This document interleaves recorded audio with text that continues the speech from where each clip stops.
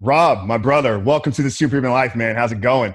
It's going great, Frank. Looking forward to talking to you. Yeah, really, really excited, man. We just wrapped it up. I mean, we, we should have hit record 15 minutes ago because I, I hopefully we can get some of that uh, in this in this episode. But um, like so many of our guests, you wrote a book, and we're gonna get to that book here, and, and that's really we're gonna dive deep into your mission and, and really, you know, what you're doing and what you're all about and, and how God's working in your life. But you know, I think the real power is is in kind of in people's journeys and and in their stories. You know i think as um as listeners of this episode that's they they they've obviously that's that's what they come here for is they want to hear how people have been able to transform and how they've been able to turn their life around.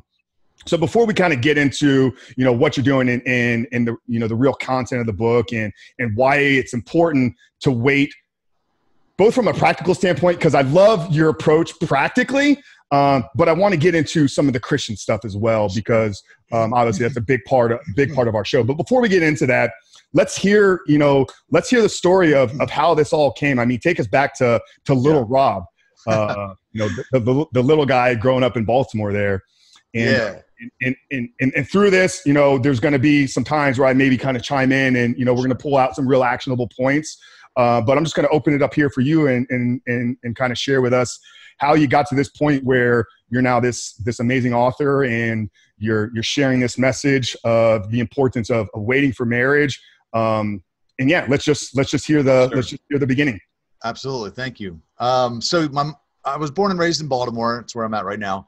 And uh, my mom got pregnant with me young. She was she was 14 when her my dad knocked her up. He was 16. Um, but they actually married, but they separated when I was like 10 months old. So I married was, at 16 and 14? I think she may have been 15 and okay. yes, at that point. But yeah, they married young. Uh, my mom, my grandmother was a Baptist, a strict Baptist, and uh, you know I don't know if it was a shotgun wedding, but it might have been. um, but you know, for the most part, I, my mom raised me with an eighth grade education, and my dad was never in the same state. He never paid child support, so I didn't see him very often. So I didn't have like a, a strong male role model around, mm. and you know, I just kind of figured out like how to be a man on my own. So I watched television and movies, and you know, my mom had a few different boyfriends, and I w- there was a kind of sexual environment that I was raised in, as far as like just people in the house, and so from the time I was 15 years old, around 15 is when I hit puberty, I guess. But I remember I found a videotape of my mom's that she she and her friends had rented, and it was of male strippers. And I remember looking at the television thinking, that's what I want to be when I grow up. Like, so I don't know where it even came from, but for some reason I wanted to be a stripper when, from the time of about 15. And uh, when I was 19 years old, I achieved that dream. Mm. I started working for an entertainment agency in Baltimore, and I eventually went on to work for all of them. And I was like the number one guy in Baltimore. I was in the phone book, and I was, you know, working with the Male Revue, and and I was having a lot of sex, a lot, a lot of casual sex, and um, you know, kind of liked being me, to be honest. Life was easy. It was a party. I'd created this persona of, of, you know, Rob. You know, I transitioned into nightclub promoting when I was about 25, and I started running the nightlife in Baltimore. And I was I was making a lot of money just partying. You know, like mm-hmm. life was a mm-hmm. party. And um, when I was 27 years old, as I just shared with you a minute ago, I was in Cancun, Mexico, with some friends on spring break, and I got baptized in the Holy Spirit like all of a sudden I became really aware that Jesus was who he said he was and that he had a plan for my life. And I was like, oh shit, basically this, this changes everything, you know, cause up until then, I, uh, my whole philosophy on life was, you know, YOLO for the most part. That was before YOLO was around, but you know, it was like, hey, look, we're gonna die one day. Let's just have as much fun as possible. And all of a sudden now it's like, whoa, you don't just die now what? So I, I quit stripping, I quit promoting, I broke up with my my hot girlfriend, you know, I'd been cheating on, and um, started going to church. Man, I started reading the Word and um, trying to figure out, you know, learn about this God that I really didn't know anything about, and I liked I liked the things that I was learning, and I was, but it was at the same time, I got really lonely quickly because all of a sudden I you know, I had to cut off all. So some people, if they become a Christian, they have to make some changes. I mean, most people have to make changes. Mm-hmm. I had to change everything. I mean, I had to change my career. I had to change all my friends. I had to like adopt a completely different lifestyle that was foreign to me. And, you know, I was going to church on Sundays and I, you know, I thought the people were very nice, but outside of Sundays, there was nothing going on for me. Like all I, I didn't want to go to the clubs anymore because I was like, if I go there, there's a really good chance that I'm going to get caught up again. I'm going to want to do drugs. I'm going to want to get high. I'm going to want to take home a girl, whatever. So I was like, you know, so I was basically just went to a lot of movies for about six years. And I was waiting for God to give me a wife. And I thought that would solve all these problems of loneliness. Meanwhile, meanwhile, I'm trying to get my friends to come to church with me the whole time because I'm an evangelist by heart. So, you know, I was the leader of the pack. I was the promoter. I was like the one that told everybody, okay, we're going to go to this club on this night. And people, people kind of followed me. So when I became a Christian, I, I had this Moses complex where I thought, Oh, you want me to lead everybody to you guys? Sure, I got it. Watch this. Hey, everybody, we're going to start going to church now. I try to take all my friends to church. Literally, no one followed. So, for six years, of course, I didn't give up. I kept trying to get them to come with me and change their ways. And and I also thought, you know, well, if some of them become Christians, then I'll have someone to hang out with. I thought, right? And but it didn't work. They just didn't want to. They didn't. For the most part, they didn't really come. If they did come, it was just more more or less to appease me. Mm-hmm. But um, so you know after six years of of just kind of isolating i ended up i ended up backsliding uh, inadvertently i i just i couldn't do life alone anymore by myself so i just started going out a little bit more on the weekends. I bought a motor a friend of mine was going through a divorce.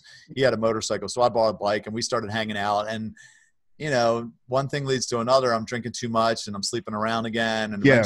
i was even doing drugs.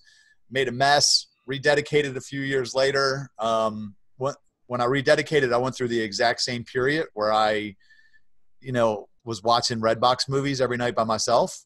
And finally, I was like, you know, this is this is crazy. Like, where's this abundant life that Jesus talks about? Because my life is surely not abundant. My life sucks. I was like, I was happier before I was a Christian, and that's when I really started uh, what you know the organization that became CityFam. It wasn't an organization back then. It was just I started putting on social and service events mm-hmm. to give myself something to do, and it turned into my nonprofit. But um, you know, I say all that to say that from living at those those polar ends of the spectrum with sex, um, it really I started to figure out something that I had no understanding of. Because when I started, when God first called me, I did not get the concept of waiting. To me, I was like, why would we wait? I'm like, you know, to me, we're going to make it's two consenting adults making each other feel good. Like, what's why wait? And I did it because in the beginning, for selfish reasons, I thought if I didn't sin long enough, God would give me a wife so I was that was the only reason I did it. But then I really started understanding it, and then I and then I got it so good. I made a video called 10 Reasons Not to Have Sex Before Marriage, posted on YouTube. It went viral, became the number one video in the world on the subject for a while. I think it's got like a million and a half views right now. And then I started getting people reach out to me about CityFam, which is uh, not not the abstinent group, just to put that out there, but it is a group of people that it's about community. And I can make a strong argument for sex without commitment breaks community. Nothing mm. breaks relationships like sex without commitment. So, yeah, that's how. Yeah.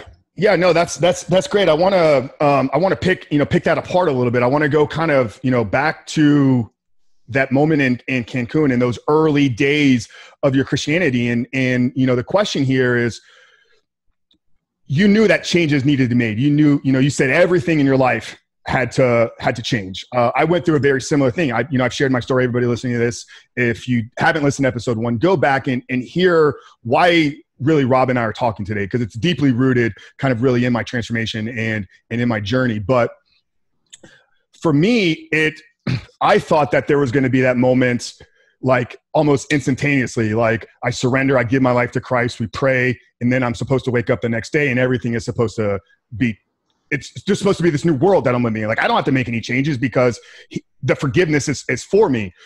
For you, I want to know where did the the the level of uh, awareness that you really needed to make the changes? Because in order for me to get there, I had to have real strong men speaking into me, leading me, guiding me. Whereas you sound like you kind of did this on your own at the beginning because you were trying to bring your non-Christian friends into the Christian world as a as opposed to maybe finding the Christian men to lead you down the path. Yeah. So how did you know at the beginning that like all these immediate changes needed to needed? Well, I mean, I, I, I, liken it to the fact that like if you were, you know, let's say you took the same like road to work, you know, and you went 100 miles an hour down that road because you're like, there ain't no cops on this road, and then one day you realize, oh yeah, they've been watching the whole time. Like I, I, you know, when you become aware of God, you know, it's it's like the lights go on and you're like, oh shit, mm-hmm. you know, like I knew I knew then what I was doing was wrong, and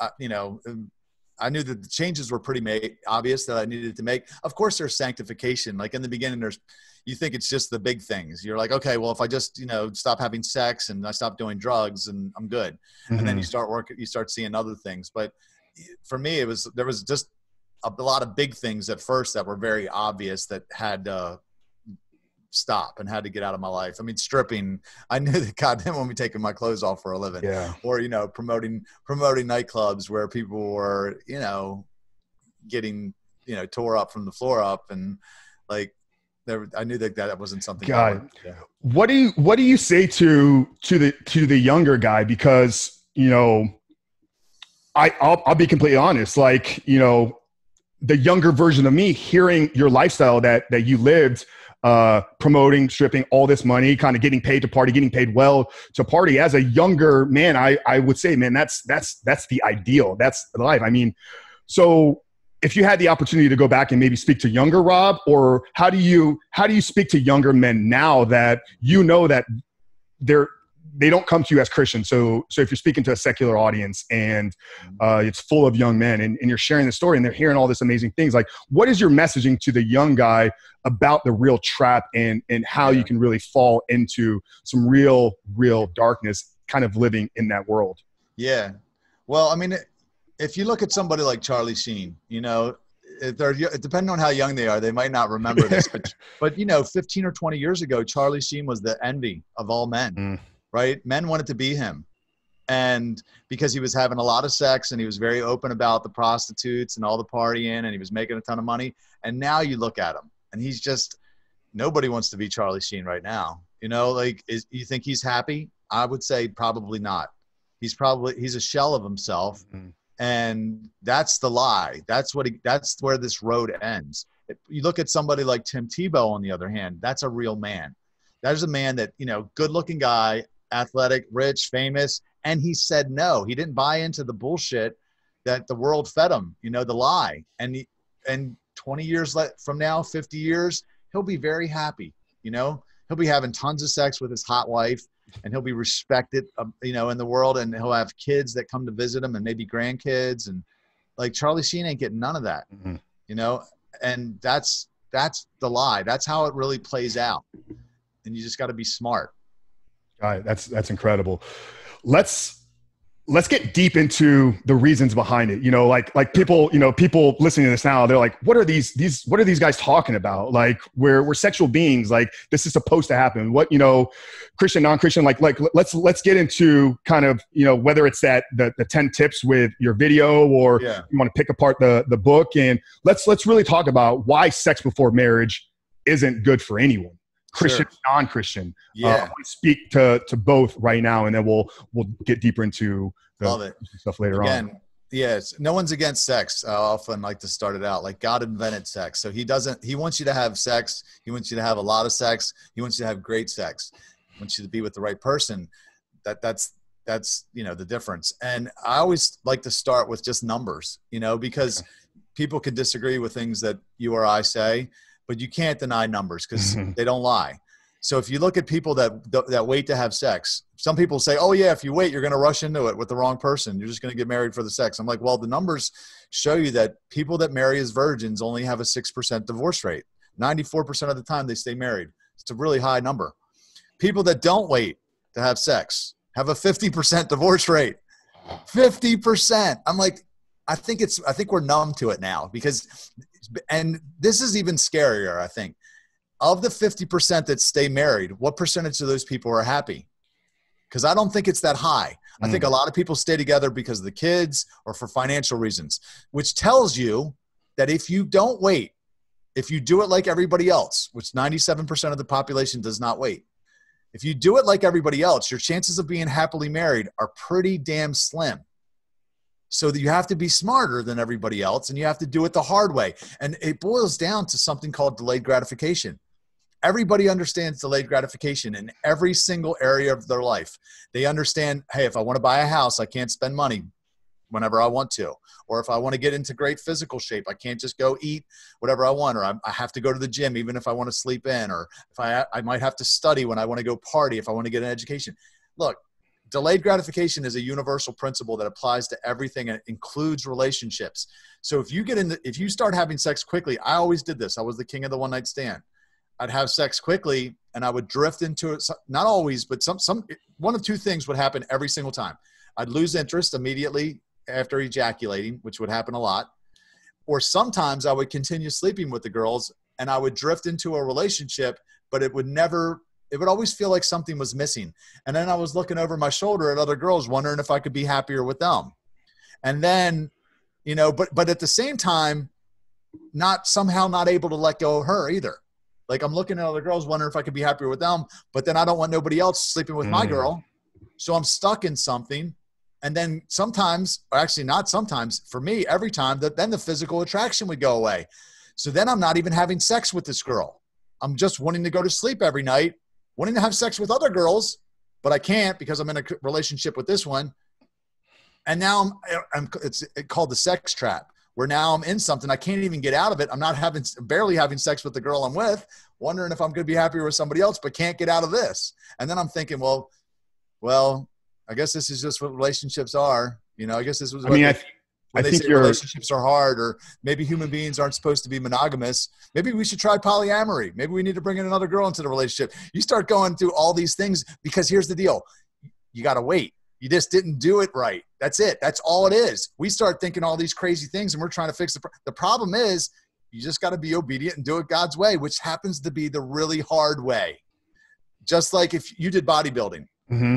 you know, what's it like to get in that kind of shape? I did a couple shows. You got to get up at the butt crack of dawn. You got to go do cardio on empty stomach. You got to eat like egg whites and just like broccoli and chicken and maybe some brown. Like you could get mad at me all day long if you said, "Look, I want to be four percent body fat," and I could say, "This is what you need to do." You could be mad and be like, "No, that's bullshit." I'm like, "I'm sorry, that's the answer." You ain't got to like it. It just happens to be the really hard way. You can't get in that kind of shape without doing those things. And if you want the best chance of having a successful long-term relationship where you you know you find your soulmate it's just this is the way to go about it. this is the best strategy. There's no guarantees. I'm not saying there's a guarantee but this is the best strategy for finding true love and long-term happiness. Yeah that's incredible per, per perspective um, in how uh, in how you frame that. And, and i mean those numbers are like you said the data the numbers do not lie. I mean shocking. Six i mean i i knew the 50% uh, divorce rate is i mean it's kind of that's that's what you hear all the time but the 6% of people that that wait i mean um in, yeah, let's in, talk about that because if you think like oxytocin so there's this and this is what people i don't know i don't know about this stuff. I, I don't know when i when i learned about oxytocin but it is a real hormone mm. that exists and it makes people stick. They call it the they call it the love hormone. It makes people bond together. Okay.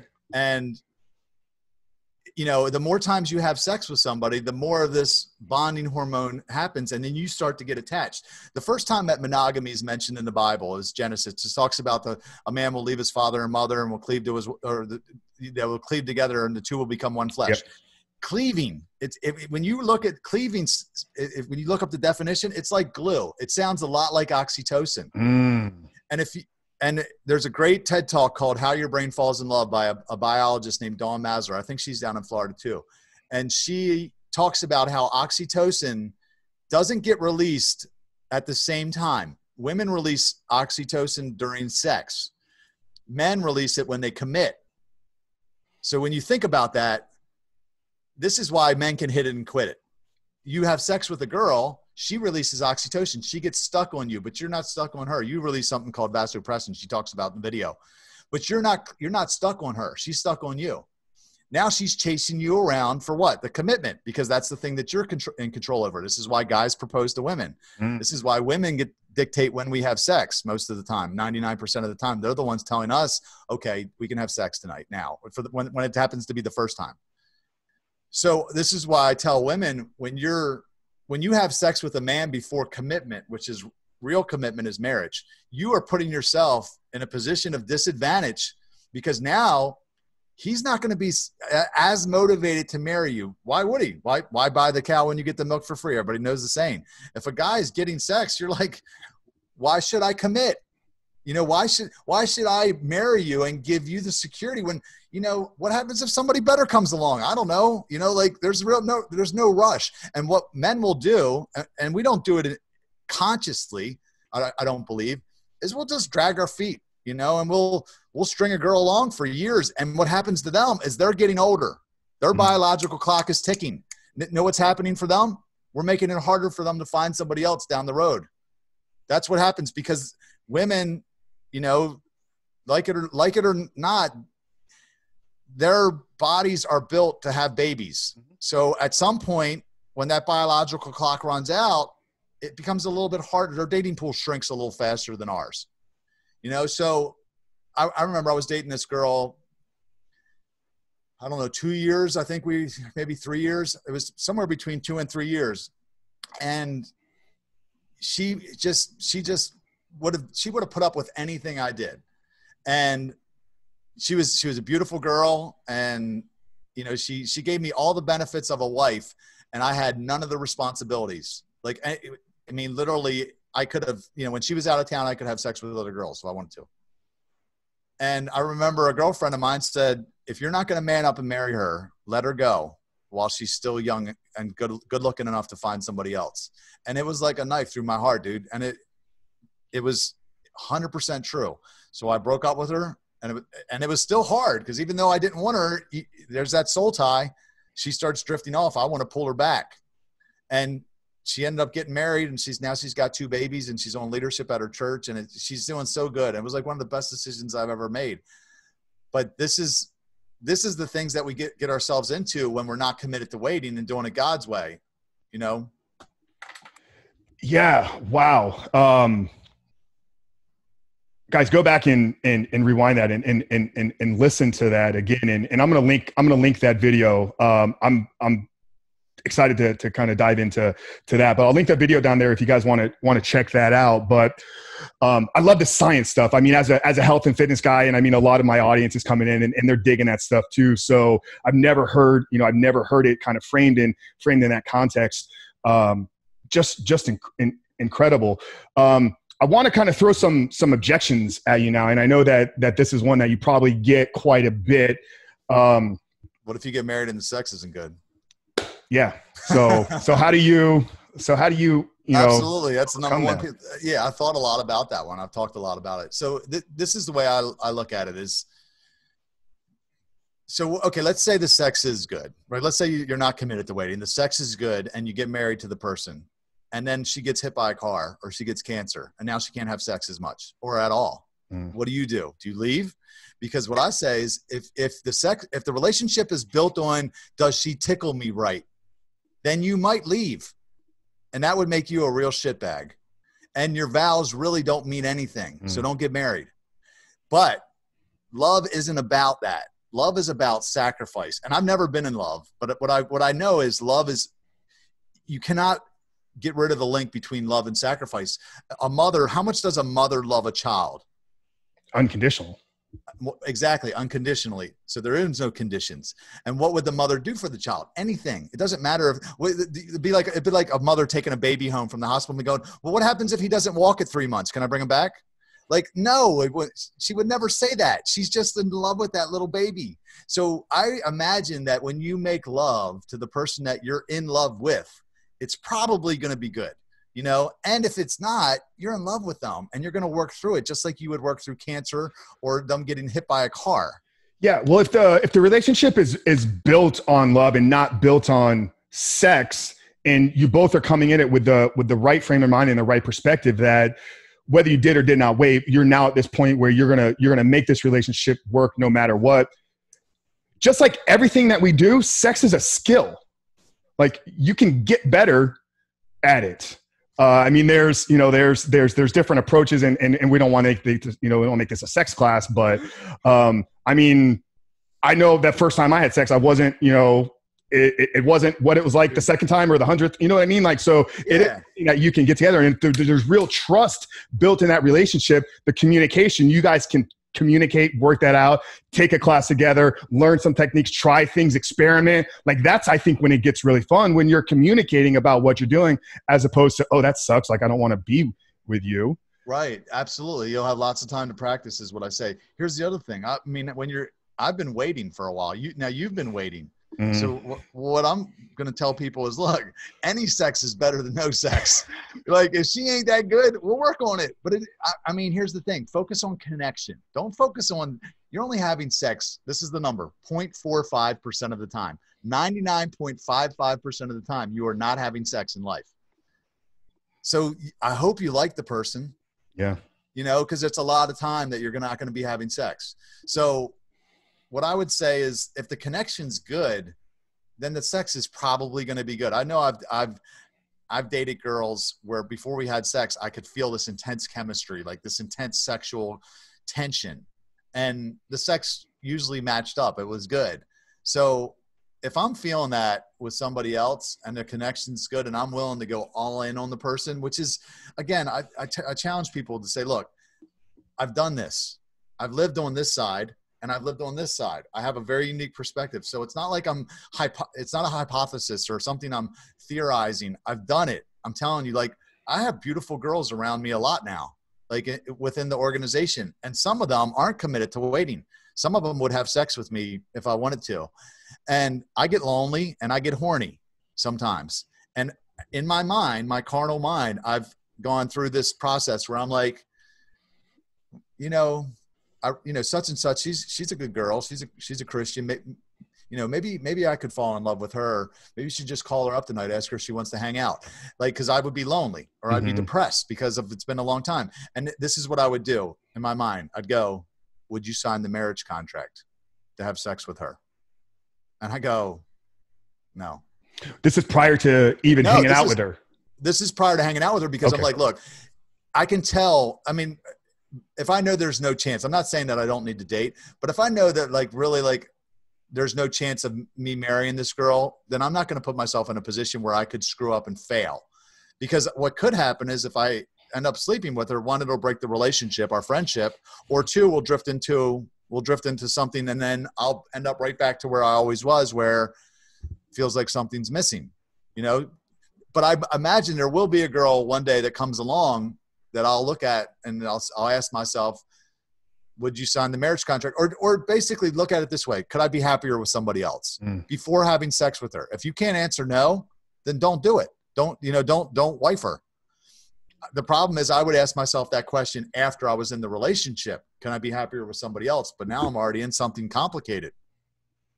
So how are you, so how are you managing, I mean, a dating life if it exists at all. I mean, yeah. uh, for what it sounds like, is you have put extreme kind of boundaries uh, around you. I mean, you know, somebody's you know can't stop drinking, don't go into the bar. Like, duh. Yeah. Um, you know, you and this is you know going through you know the coaching that we do here uh, with my company. Like, we're getting guys off of porn.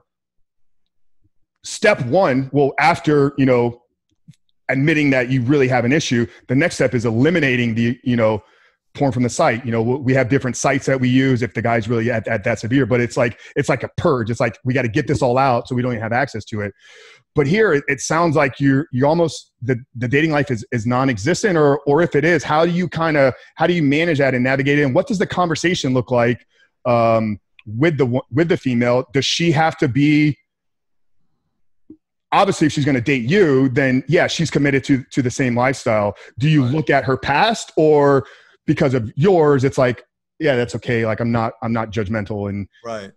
Um a couple things. So one my boundaries were you know for basically when i rededicated back this was back in 2012 is when i stopped having sex again. I got you know pure again sexually and um, i went up three years abstinent and it was just a lot of willpower to be honest a lot of determination and then i made a mistake with a girlfriend one night i was telling you about girl just watching a movie one night at my house we mm. ended up having sex after that i didn't spend time alone with women for like years you know four over four years, I probably didn't spend ever get alone with them because I just didn't trust myself. Mm. It was always my kryptonite, you know. Like, and I think this is people have to know themselves. I'm not saying that everybody has to have that boundary, but if you, like you said, if you were an alcoholic and you go, I can't go into a bar, that's just hey, look, that's your trigger. So for me, it's like I don't want to be alone with a female because I just didn't trust myself for a while.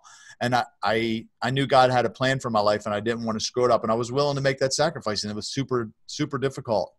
Um, but now like so I, I guess I went through about a seven or eight year period where I didn't date at all because it, God just hadn't told me to do anything.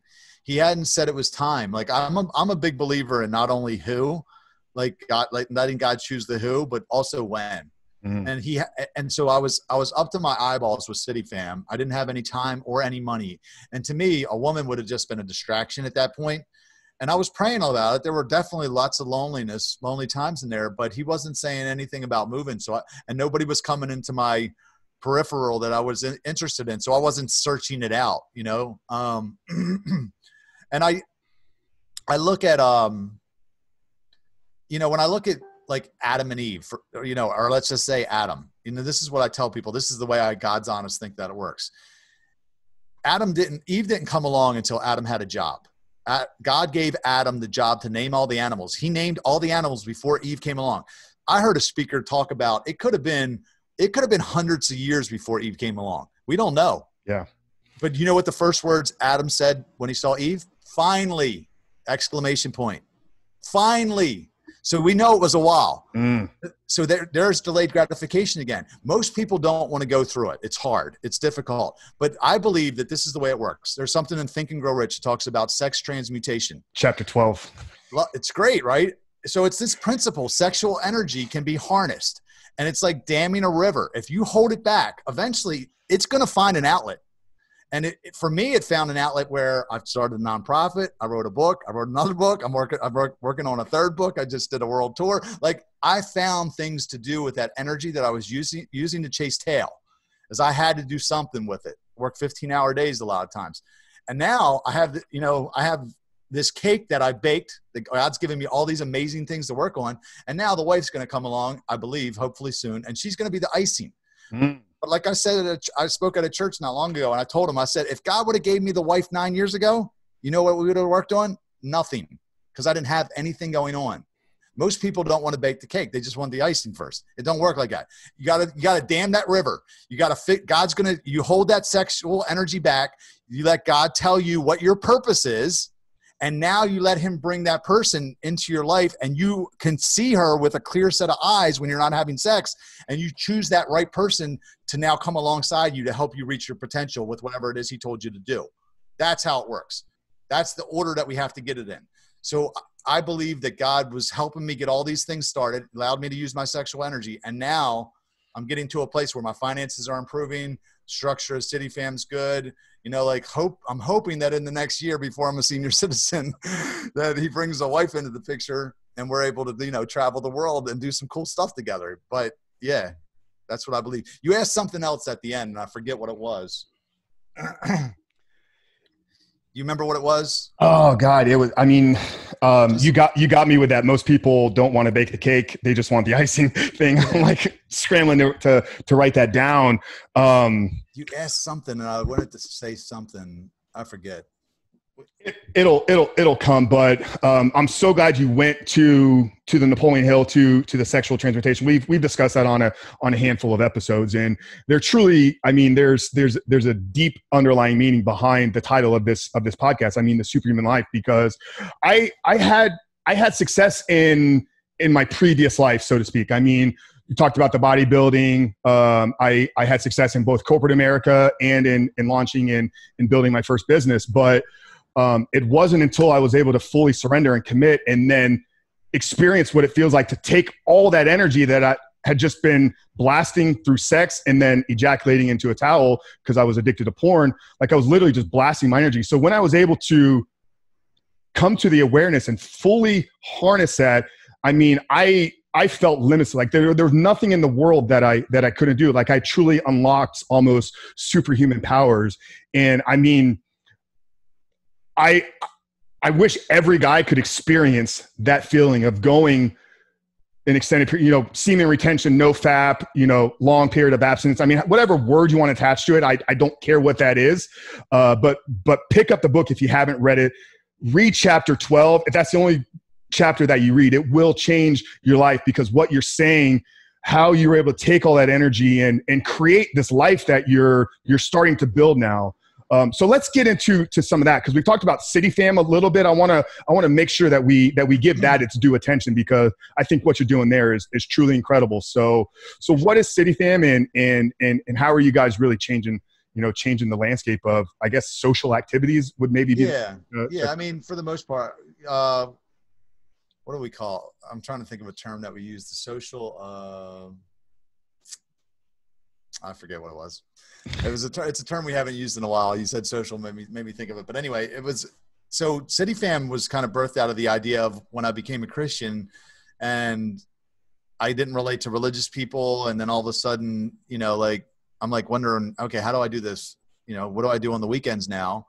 And I isolated for a long time and then eventually I backslid, went back to the bars and then I rededicated and then I did the same thing. I isolated for a while and then I was like I was complaining to somebody and they said to me, Well, you were a promoter. Why don't you start organizing events that give you something to do that won't cause you to make mistakes? Light bulb went off. So I started organizing social events that we called what we call now fun without regrets. And basically, you know, they were edgier than probably they weren't a, faith a christian event i didn't want to i didn't want to do any faith-based or christian events because i went i really wanted to get my friends from my past to come so they were a little edgier, but I had friends in church that loved Jesus, that were normal, I often have to say. But they were bored also. They were sitting around every weekend with their thumb up their ass, going to, you know, they were doing, they were suffering like I was. So I'm like, look, I'm going to put this event together. We're going to go, whatever, see this band or go sporting event or whatever it was. And, and then they would come, and then I would get my old friends that I had been inviting to church that weren't coming. They would come to the social event. They would meet my friends from church and then all of a sudden they would build relationships and then they would end up in church. And then some of them would get saved. And I was like, huh, well, that's pretty cool. You know, so then I, so then I started organizing. Sir, I, I noticed this thing happen. I, at the time, I was I was volunteering through my church, and it was I was liking myself again because I liked the way it, it made me feel like a good person to volunteer. And I was like, man, I, I know my friends, my my old friends, they need to feel this because you know, I'm sure they don't. I know how they feel. I know what you when you're partying like that. It's fun in the moment, but you look at yourself in the mirror and you you don't like yourself a lot. So I was like, they need to feel this, but they're not going to come to the church coat drive. So let me organize some service events and not again not call them any kind of faith based anything. And then I invited my friends from church. They came and they served, and then I invited my old friends and they came and they served. More relationships were built. More people got saved. I was like, man, this is awesome you know? So after a while the, the group grew to a certain point where it was big enough that we had to give it a name. We called it CityFam. And now and this is all god looking back. I, I made the video the 10 reasons video. I wrote the book initially. I had a great understanding of sex but i didn't you know i didn't really have any aspiration necessarily to write a book. I wanted to talk about CityFam because i saw not only what it was doing for me it was giving me something to do on the weekends so i didn't backslide it was get it was reaching a lot of people. A lot of people were meeting the Lord through it, and I was like, man, I want to I want to tell more people about this thing because I feel like everybody, every city needs one. But I couldn't get the word out about it because here I was just a guy that started a nonprofit. But I was like, if I write a book, then that will open doors. Mm.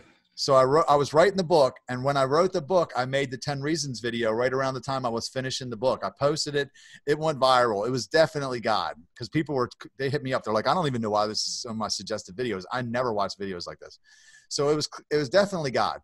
And at the very end of the video, the 10th reason or the number one reason the last one says better to have long-term friends than short-term sex partners and i say me and some friends started a group called CityFam so now i got all these people going hey um, what you said makes sense. We're we're waiting too. How do we start one of these groups? So now people start reaching out, and now we're like, okay, let's figure out how to scale. How to show other people how they can start one of these things. So now we got we have about 15 cities in various like mostly in the beginning stages of starting up but i think honestly it's the best lead funnel to the church i've ever seen you know like i the church has got gotten into this point where we're inviting people to come to the building and that's not what jesus said to do jesus said go right? So we're supposed to go to them. Mm-hmm. The problem is, is it's dangerous. You know, he says, I'm sending you out as sheep among wolves. So if you go to the bar by yourself, very good chance you could get eaten by a wolf, right? Because you're a sheep. So, but if you go together, if there's a then there then there's some strength in numbers, and you start to change the temperature. You act as a thermostat, where now all of a sudden they're start uh, being attracted to you because they're like, well, these guys they look like they're having fun. You know, that's a lifestyle I can relate to. And next thing you know, you know, you start changing the, the climate, and that's what's happened for us a lot. Um, but it, yeah, it, for me, it's been it's been great because it's enabled me to to walk this narrow path. Because again, I've been been on this thing for like just it, eh, since I rededicated nine years, and without a group like CityFam, there's just no way I could have made it because I you can't do it alone, man. Like you will you will date out of loneliness and get into a relationship mm-hmm. with the mm-hmm. wrong person, or you'll go back to a bad habit. A lot of people drink because you know, or they use drugs because they don't have community. Great, yeah. great TED talk called um, "The Opposite of Addiction is Connection." Did you ever hear about Rat Park? No, not, no, not familiar with it. A really good. I, I would just touch on it briefly. A guy named Johann Hari. He's written a couple books about it, but he talks about the the root causes of addiction is because we're meant for we are meant for connection with each other and when we don't have connection with each other, we'll connect with that. We'll connect with something else. That thing could be gambling, pornography, sex, whatever. And he talks about in the 70s, they did this study with these rats where they put them in cages by themselves. And they introduced into each cage, they introduced this water that was laced with heroin. Mm-hmm. And nine out of the 10 rats drank the heroin water till they overdosed and died. Then they took the, these other laboratory rats, they put them in a cage with other these other rats. They were all in there together. Not interested in the heroin.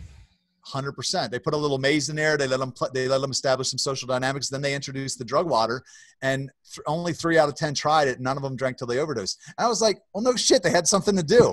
That's what it's like. If you don't have community, you will drink the heroin water, or you'll you'll screw yourself to death, or you'll do something. So that's what CityFam is. It's like, look, let's help each other become the best version of ourselves, but let's also have a good time in the process. You know, because I don't want to be, I don't want to just see you on Sunday, bro, and then not see you again. On, let's do life together. Let's go to the bar together, maybe. Let's go see a band. Let's go to a ball game. I don't know. Let's let's invite our friends that are, you know, jacked up, getting out of a bad relationship, or or you know they drink too much because they don't have this. Let's bring them in and watch them get better. That's that's what CityFam is. Yeah i think it's i think it's so powerful what what you said there and and and as believers and christians we're we're called to disciple. We're called to to spread the gospel. And if we're only hanging out with other christians if we're only spending time with other believers we're living in a bubble. We're living in a shell where we're not fully living out what we're called to do because we're called to bring people to the cross. We're called to bring people to Christ. And that's only going to happen outside of the church walls. Uh, so I love I love what you guys are are doing there, and in the connection piece. Um, you know, just just speaking real quickly to to the guys that we're you know we're we're talking to in terms of of the mission of the podcast. You know, when you're when you're dealing with this addiction, whether it's alcohol or pornography for, for a lot of you guys out there. That connection piece is so huge. You're, you're you're dealing with the guilt. You're dealing with the shame the social anxiety and you're trapping yourselves in the in the four walls. Um, and, and i was reading uh, i can't remember the article or book that it was last week but if we don't have seven personal one-to-one connections on a daily basis uh, the chances of falling into clinical depression mm. it's like 80% higher. Like if you're not getting just those seven, seven connections on a daily basis. I mean, I can tell you that there were times in, in my life when I was deep in, in my addiction that I would go days without a single human connection. Wow. Um, because, because just the fear of the truth really, really coming out. And I know you're, you know, you, you didn't deal with it. Dude, that's awesome, man. I love it. I mean, yeah, no, I've struggled, I've struggled with it, you know, especially when I was coming out of that lifestyle I, I, abstained, but I, I would have this OCD uh, like behavior where I'd go, I might go a week without looking at it like porn. And then it, the thought would come back. And then I would say, no, no, no, I'm not going to do that. And then it would come back. And that's dismiss it again. And then it would come back. And then it would come back. And then, and to the point where I just had to look at it because at that, it, was, it wouldn't, it was like plaguing my mind. And then I got, you know, I might go a month now, but like it's still this hasn't been easy. I'm not trying to say I'm perfect, you know, like I haven't mastered it. Um,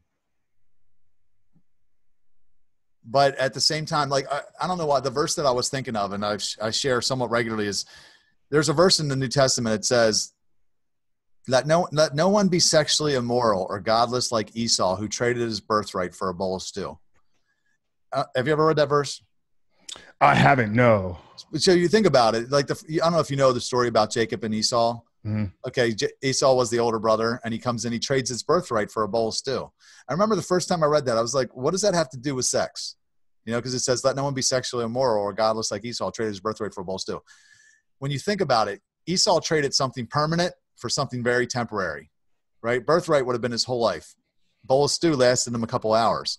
That's what it's like when you have when you bust a nut you know what I mean? Or you have mm-hmm. casual sex. You're trading your birthright, and that I believe is your purpose and your soulmate for a bowl of stew, a piece of ass. And then three hours later, you're horny again.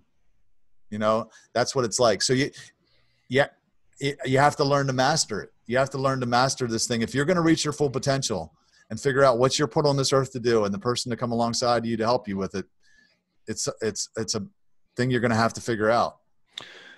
So outside of just you know just just white knuckling it and just you know just relying on you know discipline and and staying away and you know avoiding the boundaries. Like are there you know are there tips? You know I, I know there's no hacks. I know there's no like you know perfect formula but but a guy comes to you and he's like rob man i like i'm all in man. Like like you you you've got me man. Like i'm i'm bought into the mission but i don't have your discipline. I'm not willing to not date, I need to have a female, you know, to, I got to spend time like that. I, I, am not willing to give that up. I can give up sex, but I need some help. So you, is there, is there advice, tips that you give guys on, on yeah. how to manage it? I'm not saying don't spend time with girls if you can do it. That's the thing. That's the if because you have to. It's risk reward. You know, mm-hmm. for me, like so. The tip. The tip, there's two tips. One is confess your sins. Right. The word says confess your sins one to another that you might be healed. So you have to get some guys in your life that you can be really honest with and say, look, man, I'm struggling, or I did this, or whatever it is. Because if you're not honest, if you keep it quiet, you're never going to get over it. That's a spiritual principle. Mm-hmm. So you have to have some guys in your life that you can be re- really honest. The second thing is, and this is a big one that's helped me, is there's an article, and I'll I'll share it with you, and then you can maybe you know put it wherever. But it's it's about why you should sign a covenant with God. And it talks about Job in the book of Job. He said he, he signed, I made a covenant with my eyes not to look lustfully at a maiden.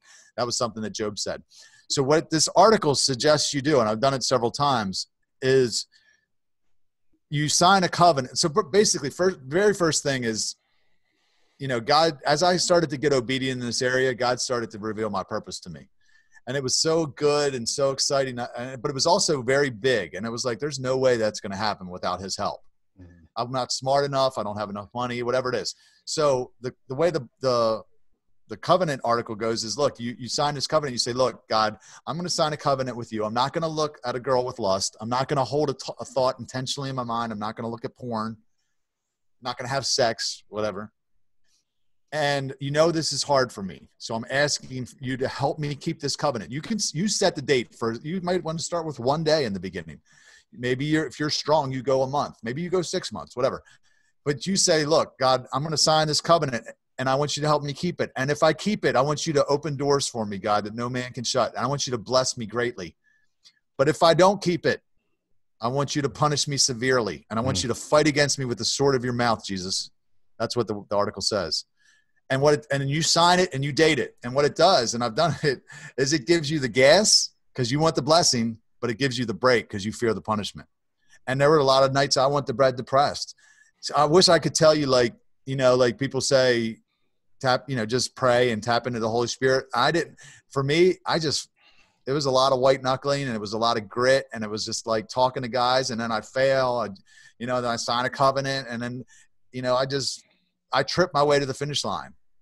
And if you have to do that, then that's just what you have to do but that that but that was those are those are my the only two tips, and I keep really good boundaries. Yeah, I mean, I, I, you know, just just from from an outsider's perspective, and you know, just here chatting with you for you know the last hour plus, and you know the little bit of uh kind of you know background that I that I know on you, I feel in in your case, and you know, would love your opinion in, in terms of other guys that are trying to, you know, maybe move forward. This like you've are now in a place where your life is built for something beyond you. You know, there's a service built into everything that you're doing, a service to others. And and in that case, I feel that that has been probably something that you've been able to, you know, lean in or has been able to pull you along in those times of like real struggle, real challenge. Cause I I don't know exactly what you've gone through, but but but I mean I've I've felt it because I've I've experienced a very case similar kind of you know change in change in my life as we were talking i mean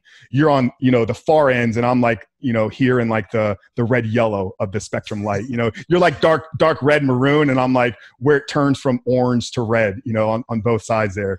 Uh, and i'll and i'll get to to the end there with you but but having something outside of you beyond you that's in a service base um do you feel that that i mean like that that's where a guy needs to you know possibly put you know put a lot of his his energy and, and, and yeah. focus i think well definitely volunteering i mean volunteering you get all kind of feel good chemicals when you help other people so i definitely like that's part of my my program for staying on the right path working out of course mm-hmm. um but I think one sometimes you got to say it. You know, like for me, like I was very out when I especially when I started to understand the concept, I started talking about it. Like, hey, this is the right way to go you know and then it kept me accountable because i didn't want to look like a hypocrite.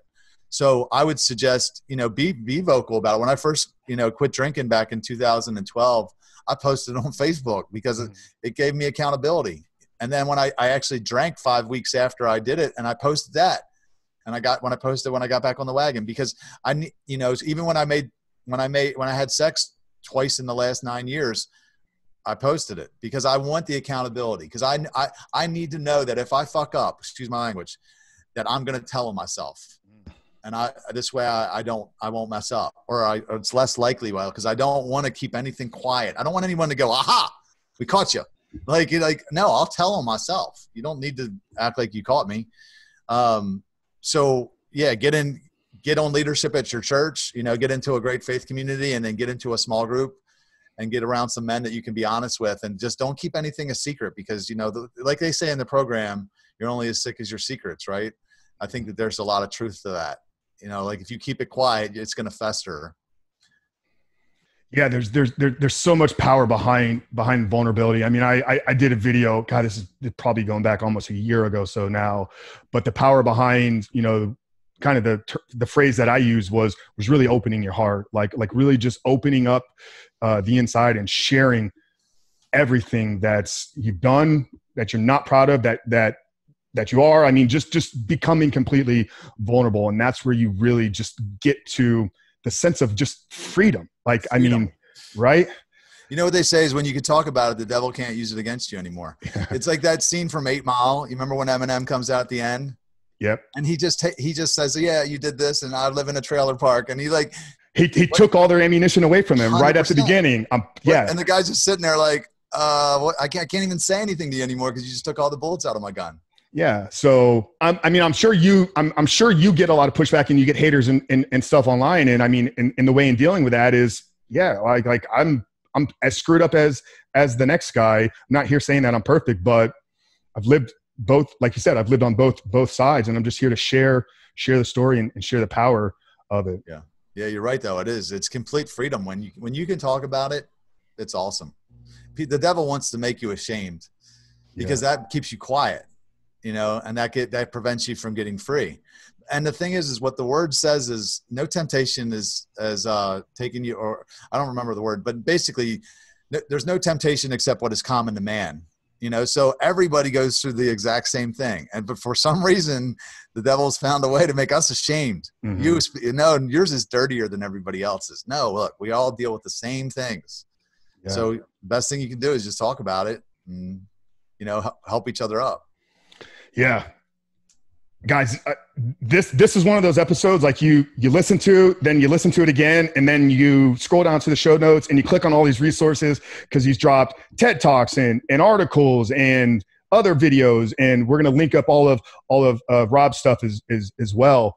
Um So you mentioned you're working on a on a new project, on a new book. Um, we want to make sure that we direct people to to the current one that you have out, the, the Why Waiting Works. Are you able to share anything in terms of this new well, thing? And yeah, yeah, yeah, I mean, sure, I'd love to. It's it's called Go, actually. Okay. Go with exclamation point because that's what uh, you know Jesus when he sent his disciples, he said Go, and um, it really is.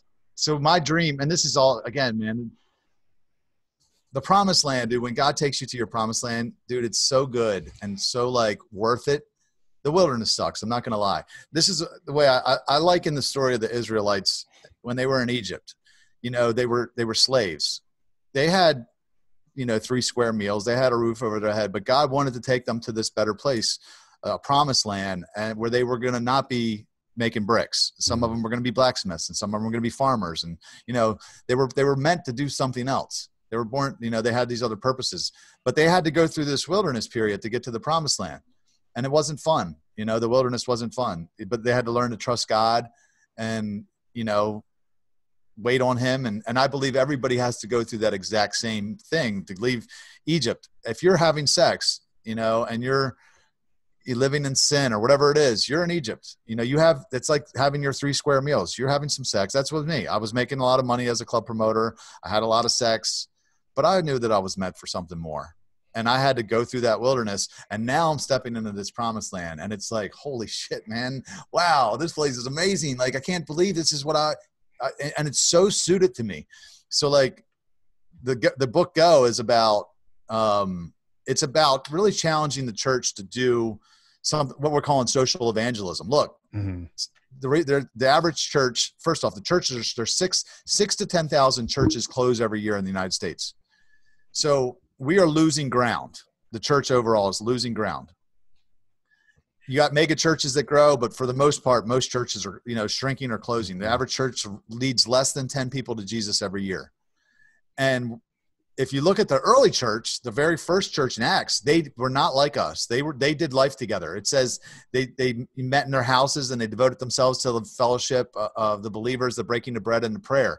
So they were just hanging out with each other, just doing life together. And it and it says the Lord added to their number daily those who were being saved. So literally every day people were getting saved.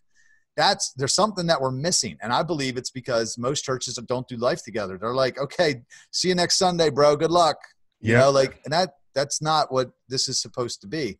So i want to show people you know how we've built CityFam treats churches how they can do it for themselves which is like look um, get into get into small groups and, and, do things besides bible study together. Like do a do a social do something go gr- grill some steaks on friday night or uh, you know and then go out and volunteer in the community and go invite your unchurched friends to those things. Don't invite them to church. You've been inviting them to church. They ain't coming 82% of the population doesn't go to church on any given Sunday. So invite them instead to something fun or to maybe to volunteer. I, you know what people say when they come to CityFam events and they volunteer? They go, man, I've always wanted to do something like this. I just didn't know how to get started. You think about that. Like yeah. there shouldn't, that shouldn't be, there shouldn't be a barrier to entry for people to volunteer, but there is. I mean, most people aren't going to just go show up to a soup kitchen by themselves. You know, like they need somebody to kind of tell them, okay, come on, we're, we're going, you can come with us.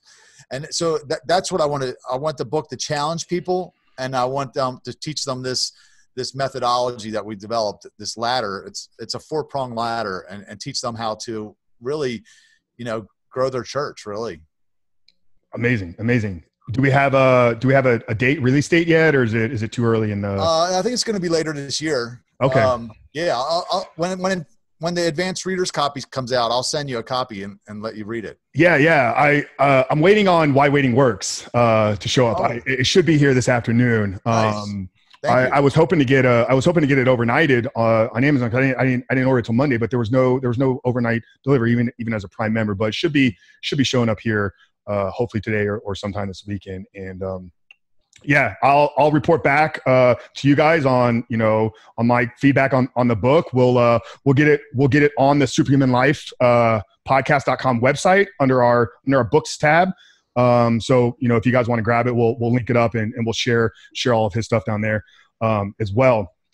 As we're kind of bringing this to a close, I'm, uh, we have a we have a question we ask at the at the uh, the end of every show, but I want to give you an opportunity because this was an amazing powerful conversation. I know that there's going to be tons and tons of people that I want to get more of Rob. So um, if if if they want to get into your world, uh, where's the best place? Direct them wherever you want to go. Yeah. Um, you know, where's the best place to learn more about you, about CityFam? If they're interested in maybe opening up a chapter, I want to definitely get uh, on a, on another call with you at some point here uh, to maybe see if there's something we can do. In, in, in Heck yeah, dude, love uh, it. I'd love to so, get you get you started down in Tampa. Yeah, man. You so got, you, you, got what it takes. Seriously. Yeah. So so where can people find out more if they're interested in the CityFam or or just Rob Rob in general? What's the best place to to kind of tap into your world? whywaitingworks.net they can get a free copy of the book and and the book okay. does a great job of breaking breaking it down practically why it makes sense to wait i think you have to pay shipping and handling but you get uh, a bunch of bonuses with it for so for less than 10 bucks you get like the study guide and the videos that go with the small group so if you want to do a small group around it's called the truth about sex um, okay. it's a it's a it's a uh, eight week small group and you know what what i like about that is because again, the book does break down practically. Okay, look, it's almost to the point where you can't even deny it. Okay, you're like, okay, I think he's probably right. Okay, but what the what the small group curriculum does for you is now it gives you some some people that that are also coming to this realization to now do life with. Mm. Okay, week number five in the small group curriculum is you do a social event. So you now you know, and then you invite your your unchurched friends to that social event. Week number seven is you do a service event and you actually take any money that you made from your social event and you go donate it to a local charity and you guys go out and volunteer together. So by the end of the eight weeks, now you got a group of people that are doing life together, and it very it simulates what it was like for us when we started CityFam. So my my hope is that a lot of people will start small groups. They'll stop having sex. They'll stop trading what they want um, most for what they want right now, which I say is the definition of failure. That's what you're doing when you're having uh, casual sex. Mm-hmm. Is you're trading what you want most for what you want right now they'll stop they'll get into a group where of people there where they're doing life together they'll start reaching their friends you know and pulling them into healthy community and then you know we can we can start a worldwide movement and you know lead a lot of people back to jesus before he returns because he's coming back um amen probably a lot sooner than than people think um but yeah, cityfam.com, go join the fam. You get our emails. If, if any, you know, if you're like, hey man, I'd love to start a chapter, we can tell you what that looks like. If you just want to connect with me, Rob B. Kowalski, um, Rob B. So two B's Kowalski, and that's Instagram, Facebook, and YouTube yeah, we'll get we'll get all that stuff linked linked down below. Like I said, free book with all these bonuses. I think I paid I don't know 14 16.99 on on Amazon. I didn't get any of those extra bonuses. everything. Maybe I, I was just gonna say maybe I can maybe I can convince you to to send me some of that other stuff. So um, yeah, guys, guys, pick up the book. I mean, uh, under 10 bucks. If this resonated in any way for you, it's, it's time to you got to take the next step. You got to take action, and and I think this is the best way the best way to do it. Um, Rob, brother, man, I this was amazing. This this this I could I could sit here and record for for hours with you. I know that we could get into so much more, so we may have to have you back on. I think we'll probably Absolutely. will when the, when when the next book comes out. But um, and for you guys as well, can we can we talk about here in a couple weeks because this uh this this episode will be released uh will be coming out on July get the calendar. Uh, July 13th. Uh, so so two weeks after that, uh, you and I will be linking up again. So can we can we direct them to where yeah. if they want to hop on that conversation as well, where yeah. they can where they can find us? It'll be streaming live on uh, Facebook and YouTube on that Monday the 27th. Okay. And then what was I going to say? Oh, they could they could hear the they, afterward. They can hear it if they want to on my at kowalskianalysis.com. Okay. Awesome. They, if they, if they want to, they can watch. They can watch the stream later. You know, live on on Facebook uh, on the 27th or YouTube, or and it'll also be there afterwards, so they can anytime after the 27th if they want to listen to it, they can go to Kowalski Analysis. Yeah, yeah. If you guys are not doing anything on a Monday night at 7 p.m., I mean, tune in and, and check out what it's like. You guys listen to these on a weekly basis. You know, you get you'll get to see what it feels like in, in live, real reaction. We tried to get this one streamed. Um, we did. I didn't have enough time to kind of prepare, but um, yeah, guys, definitely, definitely join us there on, on the 27th, 7, uh, 7 p.m. EST, um, Facebook, YouTube, um, and we'll get all that stuff linked down below. Um, so Rob, man, this is, this is something we, we wrap up every single podcast with. Um, you know, there's, like I shared, there's, there's a deep underlying meaning behind the title of, of the podcast. I mean, um, I had a life that's, had some achievements, had some success prior uh, prior to finding my my partner. You know, God God in in in, my life, and I think when you really uh, can harness that that you were created for a specific purpose. And then for me, it's all about can taking control of this physical. Like you know, as a fitness guy, like we were given this one vessel, this one body to experience this life in. So so it takes a combination of partnering with God in your purpose and then controlling your half of it, which is your vessel. And when you combine those two together, you can ultimately create this superhuman life. Mm. Um, so the question is, and you can you can answer this in any way, any way you possibly want to. Um, how does Rob define a superhuman life? Mm.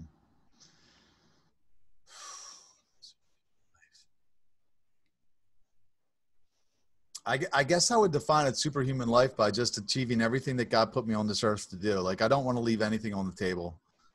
Uh, I want to I want to see what my limit is. You know, like I don't know. I, I, I do. I was. I believe in that verse where it says, you know, if you have faith as small as a mustard seed, you can say to this mountain, "Be thrown in the sea." I think God meant that literal. I mean, mm Jesus meant it literal when he said that. I think, you know, if you believe in something so much that you could literally, you know, that mountain would have slid into a sea. Now, people, geologists would have explained that it was some plates under the ground shifted or something, but you would have known that it was because of your faith.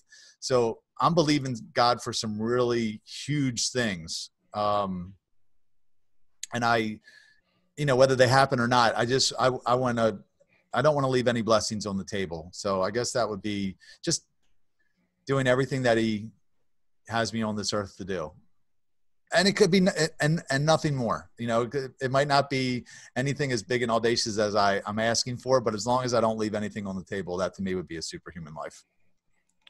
Incredible. I i, I have a mentor and uh, he has this he has this kind of way of framing you know uh, what you just said there. Like for him heaven is uh is dying meeting god and standing there is the person that you potentially could be. So we all have this potential version of what we're capable of, of, of all that we can achieve. And for him, heaven is, is showing up and meeting that person and being identical twins. Wow. And hell is showing up, meeting that person and not having any clue and recognizing yeah, who he man. is. So did I. no, I heard somebody say that. He said, you know, when you hear about hell and they said there's weeping and gnashing of teeth. I think it was Andy Stanley talked about it. He said gnashing of teeth, when you think about somebody when they're it's intense regret they go, oh, mm. you know, they're like gnashing their teeth. I imagine that, that, what you're saying. Imagine meeting the person that you could have been, and you're you gnash your teeth. recognize them. It's intense regret because you realize how much you let, how much you missed out on, how much you left on the table. So I love that, man. I, I, I love that idea of meeting that person and knowing, man, I left it all on the field. Yeah, you know? you you are my identical twin, guys. You heard it here. Waiting before marriage for everybody, the, the value in it. Pick up the book, check Rob out, get tapped into CityFam, build community, build connection, build service, change your life, make an impact. Guys, that's all what we're about doing here. And if you're if you're part of this community, if you're part of this tribe, then you resonated with so much of this today. So we just want to thank you again for tuning in. Uh, as we ask at the every single show, uh, how you can help and, and support us grow. You know, we don't we don't monetize. We don't we don't make any money off of this uh, because it's purely behind and driven by our mission. So, how can you help support us? Share it with as many people as possible. Somebody in your life needs to hear this. I know that no matter who you are. Actually, there's probably dozens of people in your life, uh, but share it with all of them. And then, if you want to help us grow, you want to help us get in front of more people, get in front of more ears. Uh, leave us a rating and five star review on whatever podcast platform you are listening to. But Rob, brother, I appreciate you so much, man. Um, super, super excited. For Frank Rich, Rob Kowalski of, of CityFam, God bless you all. We'll see you next week.